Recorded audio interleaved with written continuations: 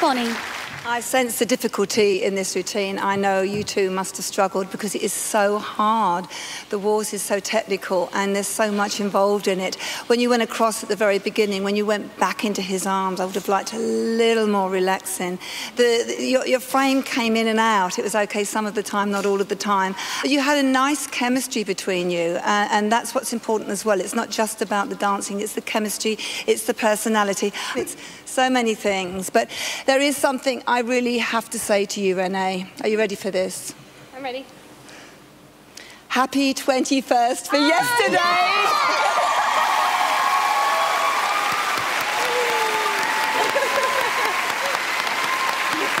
Jason. Okay. Um,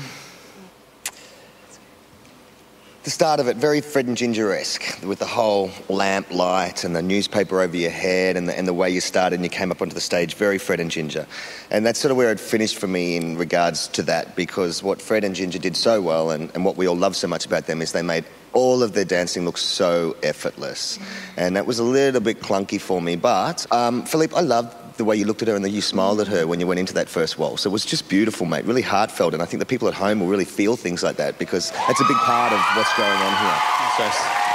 Um, I think your knees were a little too bent for the whole routine, and when you watch it back, you might agree with me. Um, Renee, your shoulders came up really badly for the last 20 seconds. Oh, okay. And I'm sure you'll see that when you watch this Okay. back as well. Um, good job, guys, and a very hard thing for you to do. Um, not, not the peak of your competition so far, but a good attempt. Thank you. Thanks, Jess. Kelley. Happy birthday, beautiful girl. Thanks, Kelley. Um, do you know what? I thought Leanne has a great concept, and, and, and I, I I loved when it started, when you first made the cross to him and, and you looked at each other. I thought, oh, okay, this is going to be good. And then, Renee, you just pulled a face that made me go, hang on a second. And you, it read all over your face that you weren't quite sure with this routine.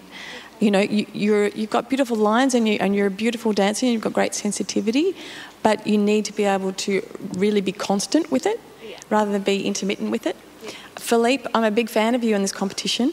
I've been watching you and I just have loved how much you've grown and what you've been doing. It's been really surprising me. Um, this wasn't your best, I think, tonight, but I, I agree with Jason. You've got great sensitivity. And so, in a, in a routine like this, you know, there was a great connection with the both of you, so that was really good. And in a, in a hard routine, I thought it was well done for the both of you. Cool. Thanks, Kelley. Matt. Uh, you guys said in the package that you were scared. Yeah, I'm a little scared for you. Definitely. Yeah, I just don't think it's going to be memorable, and I don't think it's a, it's got nothing to do with the, how the routine was choreographed or how you performed it. I just think we've had so many highs tonight and so many standouts. I think this is going to get forgotten, and that's a shame because it was a beautiful waltz. But um, fingers crossed for you. Thanks, Matt. Yes, thank you. Well,